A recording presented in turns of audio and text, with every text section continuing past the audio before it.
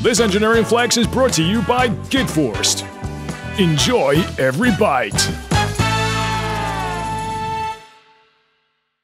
Okay, so I wanted to do a bit of a different type of video today because we've reached something of a milestone as we race towards the launch of Open Staking.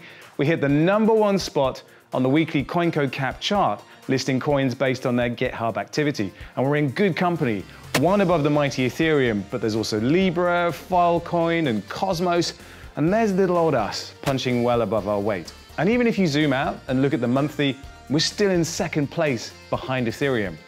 So what does this mean? Well, if there's one metric you can track with any clarity, it's the effort being put in by Harmony's team of engineers. And honestly, these guys and girls really don't get enough credit. So this is my chance to put my hand up and salute the keyboard warriors and code junkies that make this all possible. So, RJ, Leo, Min, Edgar, Janet, Howard, Dennis, Seb, Ganesh, Daniel, Andy, Yuri, and John W.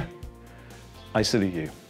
And I could only really think of one properly fitting tribute to honor your efforts.